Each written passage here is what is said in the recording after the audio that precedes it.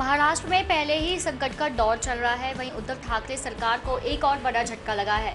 बताया गया कि पार्टी के चार और विधायक गुवाहाटी पहुँच चुके हैं, जिन्होंने सिंधई गुट को ज्वाइन किया है। ऐसे में दो तिहाई शिवसेना की संख्या बल इस वक्त एक नाथ शिंदे के साथ है। हालाँकि सभी का मानना है कि उद्धव का हारना तो तय है। तो वहीं राज्य के मुख्यमंत्री उद्धव ठाकरे ने मौजूदा राजनीतिक संकट को लेकर आज एक बार फिर से बैठक बुलाई है। इस बीच ठाणे और रायगढ़ में कई जगहों पर एक नाथ शिंदे के समर्थन में पोस्टर लग रहे हैं। वहीं बता दें कि इस पोस्टर से उद्धव ठाकरे की तस्वीर गायब है, जिससे कुछ नेताओं को बड़ा धक्का लगा है। तो वहीं थाने और रायगढ़ के कार्यकर्ता भी शिंदे के पक्ष में बताए जा रहे हैं। हालाँकि देखा जा सकता है कि ठाकरे परिवार विरोधी या शिवसेना विरोधी पोस्टर बैनर फाड़ दिए जाते हैं, लेकिन थाने और रायगढ़ के अलग अलग इलाकों में पोस्टर लग रहे हैं। पोस्टर की अलग अलग कहानियाँ बयां कर रही हैं। यहाँ पर शिवसेना कार्यकर्ता भी एक नाथ शिंदे के पक्ष में नज़र आ रहे हैं और समर्थन वाले पोस्टर लगा रहे हैं। इन पोस्टर पर उद्धव ठाकरे की तस्वीर गायब है।